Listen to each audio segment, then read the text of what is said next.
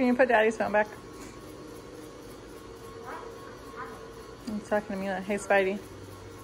You cleaning up your mess?